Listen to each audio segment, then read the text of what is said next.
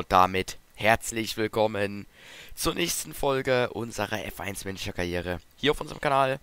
Heute haben wir das zweite Saisonrennen, zuletzt ja der Saisonauftakt in Bahrain. Lief gut von der Pace her, würde ich denken. Das war ein sehr, sehr positives Zeichen, aber wir haben schon wieder unnötig Punkte weggeschmissen. Und zwar hat der Oscar dort ein ganz, ganz schwaches Rennen, einen Fehler nach dem anderen gemacht. Ich hoffe einfach, dass er hier ja, ein konstant gutes Rennen hat, dass er ins Ziel kommt, in die Punkte fährt und dann ist es mir auch egal, wenn er halt ein bisschen langsamer ist als Zunoda. Äh, solange er wirklich einfach, einfach konstant das holt, was er holen kann, dann ist es absolut in, in Ordnung und zufriedenstellend. Boah, ich habe zwar gesagt, es ist okay, wenn er langsamer ist, aber er ist immer noch sechs Zehntel langsamer und das, obwohl er jetzt schon zwei Hotlaps hatte. Also das ist dann doch viel, ja. Das ist nicht so ganz das, was ich sehen möchte. Wenn er so drei, zwei Zehntel hinten dran ist, das ist absolut in Ordnung. Aber sechs Zehntel, boah, das ist viel zu viel, wirklich. So, wir sind in Q2. Ähm, ihr wisst ja, dadurch, dass wir im Minus sind, vom Geld her, können wir zu Beginn dieser Saison wirklich gar nicht upgraden, können das Auto gar nicht verbessern und trotzdem muss ich sagen, gefällt mir die Pace nicht so gut. Das ist langsamer, auf jeden Fall langsamer als in Bahrain. Wir sind nicht die zweite Kraft im Qualifying. Nee, ich würde sagen dritte Kraft und auch Aston Martin, vor allem Norris, ist immer sehr nah dran. Ja, im Q3 ähm, sind trotzdem beide unsere Fahrer, obwohl es halt nicht ganz so gut ist von der Pace her. Aber hier muss ich sagen, Zunoda wieder mit einer sehr starken Runde. Bei Oscar hoffe ich schon, dass er noch ein bisschen was wenigstens findet, dass er da, ja, vielleicht wenigstens so in die dritte Reihe kommt. Das wäre schon ganz schön. Aber jetzt ist erst einmal ähm, gucken angesagt, ja. Schauen zu Noda, verbessert sich und natürlich auch Oscar, das ist wichtig. Perez mit einer guten Runde, der ist erstmal vor Yuki. Aber der kommt jetzt über die Linie. Was schafft Yuki Tsunoda? Oh, das war gut.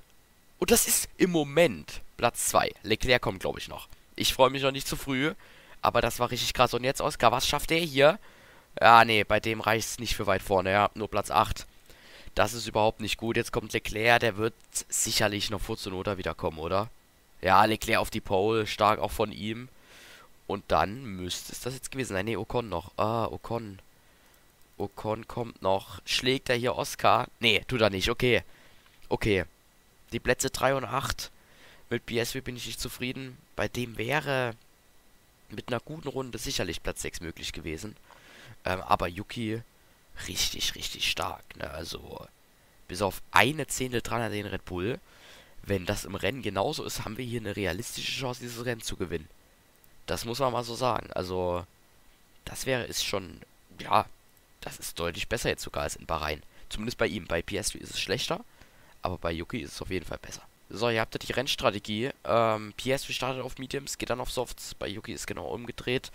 Mit einfach mit, mit Oscar einen langen erstes Sintern. Ja, vielleicht haben wir dann Glück mit einem Safety Car, wovon er profitieren kann.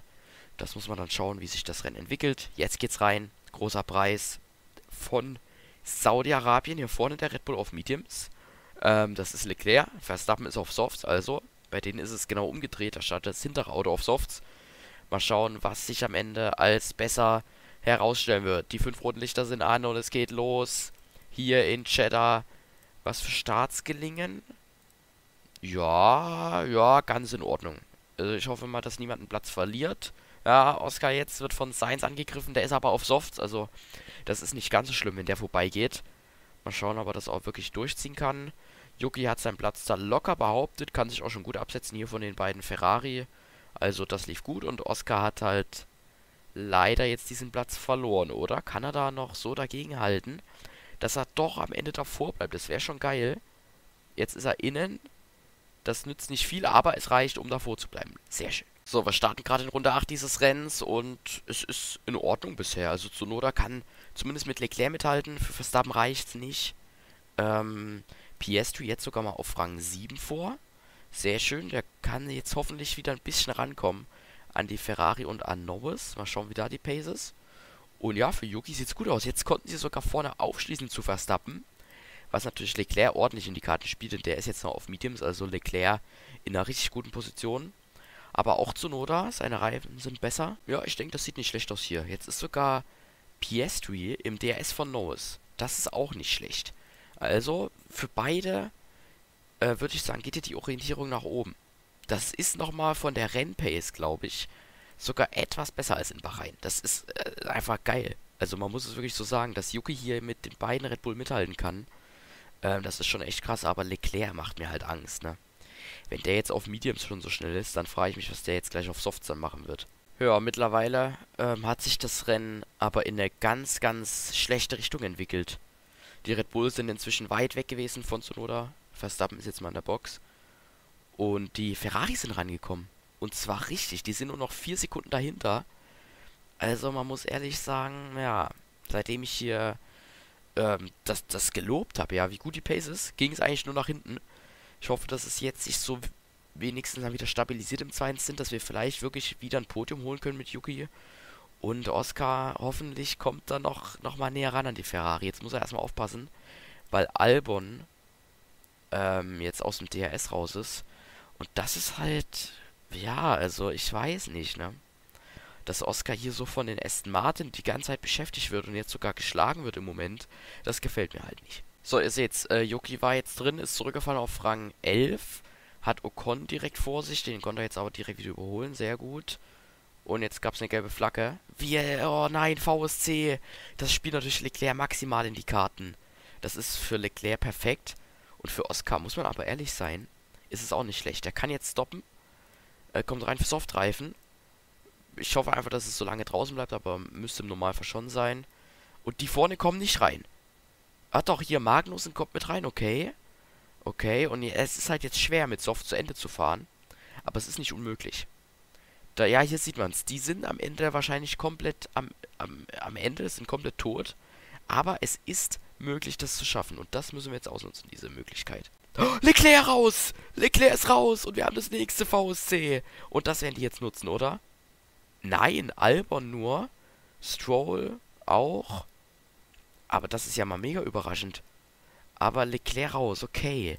Das stellt das Rennen natürlich nochmal komplett auf den Kopf. Denn das gibt die Möglichkeit für Yuki Tsunoda, hier vielleicht Max Verstappen zu schlagen. Jetzt waren noch mal welche drin. PS3 ist nur neunter. Ah. Ah. Da geht auch nicht mehr viel bei ihm. Perez jetzt drin, den wird er nächstes VSC. Was ist denn jetzt los? Ist das hier ein Bug oder wie? Sargent raus. Okay, ganz kurzer Zwischenstand. Ihr seht's hier. Äh, Verstappen ist circa 5 Sekunden vor Yuki. Dann haben wir Russell, Bottas, Perez. Eine Riesengruppe hier. Die geht bis auf Rang 10. Auch Oscar ist da drin. Und ja, ich hoffe, dass er noch ein, zwei Positionen am Ende wenigstens weiter vorne ist. Das wäre schon nicht schlecht. Und vorne, es schiebt sich zusammen, ne? Yuki kommt dran an Max. Mach so weiter. Du hast hier die Möglichkeit, das Rennen zu gewinnen. Come on. Ich glaube, die Pace reicht nicht ganz. Es sind immer noch drei Sekunden. Wir haben auch nur noch zehn Runden hier. Er ist ganz leicht schneller. Jetzt zum Beispiel nicht mal ganz eine Zehntel. Mal gucken, jetzt, ja, jetzt wird er sogar langsamer sein. Nee, und jetzt ein Safety Car. Okay. Okay, und jetzt schiebt sich vorne alles komplett zusammen. Magnussen ist aus dem Rennen raus. Ich überlege jetzt gerade, ob wir mit Yuki reinkommen sollen. Der hat nochmal frische Softs. Warum eigentlich nicht? Warum eigentlich nicht? Hier alles riskieren. Wir könnten ein Podium verlieren, wir könnten aber auch dieses Rennen gewinnen. Come on, er ist jetzt auf Rang 6. Das ist weit hinten. Aber es ist in Ordnung. Und man kann von Platz 6 aus hier auch noch was schaffen. Weil ich glaube, ansonsten hätten wir gegen beide Ferrari noch die Position auch verlieren können. Weil die waren schon echt schnell auf ihren Softreifen.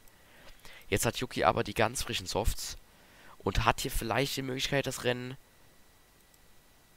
ja, zu gewinnen wahrscheinlich nicht, aber auf dem Podium auf jeden Fall zu finishen. Jetzt geht's weiter. Er kann natürlich jetzt pushen ohne Ende. Das machen wir auch bei ihm rein. Ähm, und dann, ja, müssen wir jetzt einfach irgendwie hoffen, ne? Wir müssen hoffen, dass sich dieses Risiko jetzt auszahlt. Noch vier Runden sind zu gehen. Und der hat sich schon Albon geschnappt. Let's go. Ähm, eine Runde ist jetzt erstmal absolviert nach dem Safety Car. Und Yuki ist vor auf Rang 3. Der hat hier nicht nur eine Möglichkeit, auf dem Podium zu enden.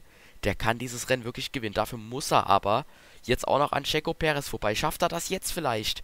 Schafft er das jetzt? Nein, schafft er nicht. Bitter.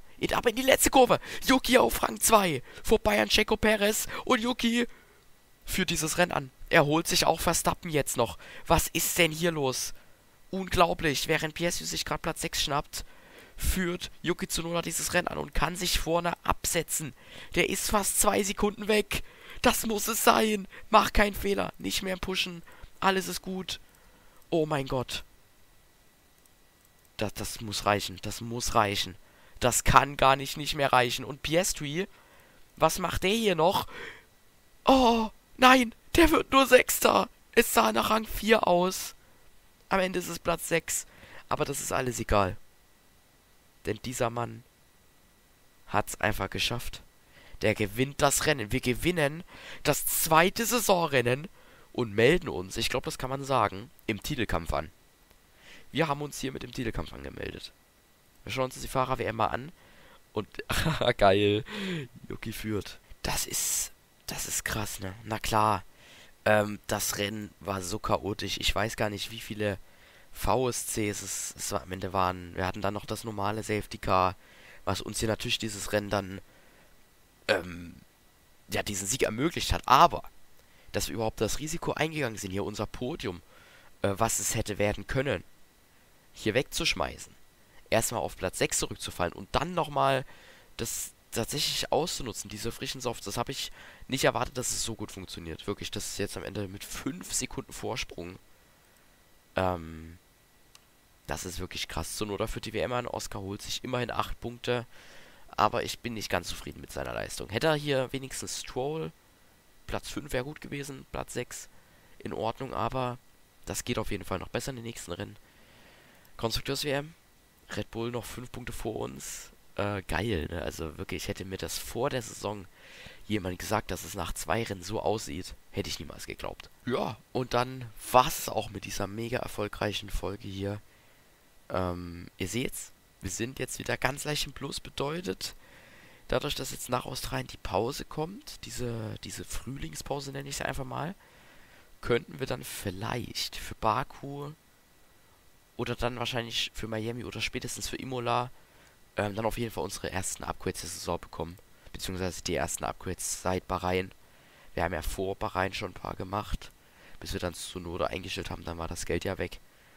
Ähm, und deshalb glaube ich schon, dass wir dass wir uns auch noch steigern können. Ja, ich meine, im Moment müssten wir uns gar nicht wirklich steigern, um eine Chance vielleicht zu haben, diesen Titel zu holen. Auch Ferrari ist allerdings da dran und daran sieht man ja, dass es halt, ja, pace-technisch ist Red Bull natürlich schon noch ein bisschen in der eigenen Liga. Aber wir haben eine Chance, ne? Vor allem, wenn Red Bull so Fehler macht wie Leclerc jetzt hier, dann haben wir vor allem mit Zunoda, glaube ich, eine gute Chance, vielleicht den Titel zu holen. Wer weiß, wer weiß. Und wenn nicht, dann schaffen wir es halt hoffentlich dann in der nächsten Saison. Das ist ja eigentlich generell das große Ziel mit Williams. Ja, lasst gerne ein Like und ein Abo da.